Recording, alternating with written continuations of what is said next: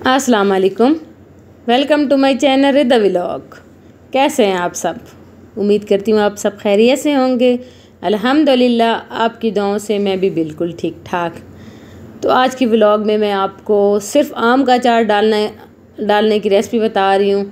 और ये ऐसा अचार है कि आप इसको बग़ैर तेल के भी सेव कर सकते हैं और तेल के साथ तो आप इसको सालों साल यूज़ कर सकते हैं। तो यहाँ पे हमने एक तकरीबन डब्बा, ये जो होता है मीडियम साइज़ का, ये हमने आम लिए और अब हमने इसकी कटिंग कर ली है और अब अब इसमें हम डालने लगे हैं नमक। और नमक आपने जब भी अचार में डालना है तो नमक आपने ज़्यादा डालना है, बहुत ज़्यादा डालना है, क्योंकि इससे इसी से ये अचार उठता है और ख़राब भी नहीं होता। तो यहाँ पे हमने इसमें तकरीबन कुछ चार, पाँच चम्मच नमक के डाले और चार चम्मच अब इसमें अम्मी ने मेथरों के डाले हैं और तकरीबन तीन चम्मच इसमें कलवंजी डालेंगी। कलवंजी इस दफ़ा कम डाली है, बाकी सारी चीज़ें ज़्यादा डाली हैं। और अजवाइन भी तकरीबन तीन से चार चम्मच आप इसमें भर के डाल दें। यानी आपने जो देखना है कि जितना आपके पास ये आम है, उसके हिसाब से आपने मसाला जार डालने हैं। और जैसे मैंने आपको पिछले व्लॉग में बताया था कि इसमें मेथरे कलवंजी, इन दो चीज़ों से ना अचार बहुत ज़्यादा उठता है तो ये मस्ट होनी चाहिए। तो अब यहाँ पे तकरीबन पाँच छः छः चम्मच अम्मी ने ये मिर्च डाली थी, क्योंकि अगर इसके साथ सब्ज़ मिर्च होती तो फिर हम लोग ये मिर्चें कम डालते।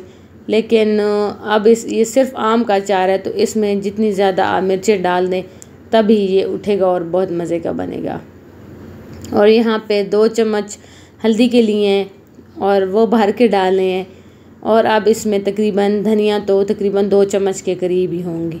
वो डाली हैं और आप ऊपर से थोड़ा सा आमी नमक और डाल देंगी क्योंकि जैसे मैंने आपको बताया कि जितना ज़्यादा आप नमक डालेंगी, उतना ही आपका अचार अच्छा बनेगा। अब हम इसको अच्छे से करेंगे मिक्स और मिक्स करने के बाद आप इसको इसी तरह बंद डब्बे में इसके ऊपर ढक्कन बंद करके आप इसको रख दें।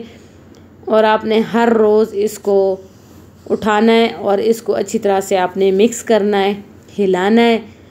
डब्बा नहीं खोलना, इसको ओपन नहीं करना, सिर्फ़ बंद के साथ आपने इसको उठा के इसको आपने हिलाना है और फिर रख देना है। तो आपने तीन दिन ये स्टेप करना है और तीसरे दिन आपने अचार खोलना है। और खोल के आप इसमें तेल भी डाल सकते हैं और सेव करने का भी मैं आपको आगे तरीका बताती हूँ कि आप इसको कैसे सेव कर सकते हैं। तो जल्दी से प्लीज़ प्लीज़ मेरे चैनल को लाइक कर दें सब्सक्राइब कर दें और शेयर करें और कमेंट्स में मुझे ज़रूर बताइएगा कि कैसा लगा मेरा व्लॉग और कैसा लगा मेरा अचार। तो यहाँ पे मैं इसको अच्छे से मिक्स कर रही थी और माशाल्लाह काफ़ी ज़्यादा सारे इसमें मिसाले थे। और आज के अचार में, आज की व्लॉग में आपको मैं ये तीन दिन बाद कहीं मैंने इकट्ठा ही इसका व्लॉग बनाया और इसको मैं आपको ओपन करके भी दिखाऊँगी कि कैसा बना है। तो हमने पूरे इसको तीन दिन रखा है और अगर गर्मियाँ हों तो आप इसको अंदर रखें और अगर सर्दियाँ हैं, जैसे सर्दियाँ होती हैं तो फिर अचार थोड़ा मुश्किल से बनता है तो फिर आपने इस अचार को धूप में रखना है। तो आजकल गर्मियाँ थी तो हमने ये बना के अपने किचन में ही रख दिया है, क्योंकि वहाँ पे काफ़ी सारी हीट होती है। और फिर तीन दिन हम इसको मुसलसल ऐसे ऐसे आपने इसको हिलाना है। हर रोज़ आपने इसको हिलाना है और इसका डब्बा ओपन नहीं होना ताकि इसको हवा ना लगे। तो फिर तीन दिन के बाद आपने इसको ओपन करना है और यहाँ पे अल्हम्दुलिल्लाह से इसको तीन दिन हो गए थे। और यकीन माने कि मैंने इसको बिल्कुल ओपन नहीं किया। फ़र्स्ट टाइम मैं आपके सामने इसको ओपन कर रही हूँ और यहाँ पे देखें, माशाल्लाह से माशाल्लाह से बहुत अच्छा अचार बन गया था हमारा। आप इसको किसी डब्बे में भी डाल सकते हैं, किसी बर्तन में भी आप डाल सकते हैं, जैसे मिट्टी के बर्तन होते हैं, किसी जार में भी आप डाल सकते हैं, बस हमारे पास जो अवेलेबल डब्बा होता है हम उसी में डाल देते हैं। तो माशाल्लाह से, अल्हम्दुलिल्लाह से बहुत अच्छा बना था, सब मिसाले भी इसमें काफ़ी सारे थे। तो इसको सेव करने का तरीका ये है कि आप इसमें ना इस स्टेप पे आप इसमें सिरका डाल दें थोड़ा सा और फिर आप इसको फ्रिज में रख दें।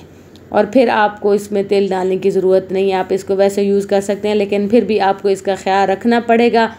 अगर आप तेल डाल दें इस स्टेप पे और इसको फुल कर दें आप तेल से तो ये बिल्कुल आपका सालों साल अचार ख़राब नहीं होगा और इस स्टेप पे आप इसमें मिर्चें, गाजरें, लेमन और चीज़ें भी आप इसमें काट के डाल सकते हैं और इसमें आयल डाल के, तेल डाल के आप इसको सेव कर सकते हैं। तो बस जी, यहाँ तक था मेरा आज का व्लॉग मिलते हैं नेक्स्ट व्लॉग में। तब तक के लिए अल्लाह हाफिज़।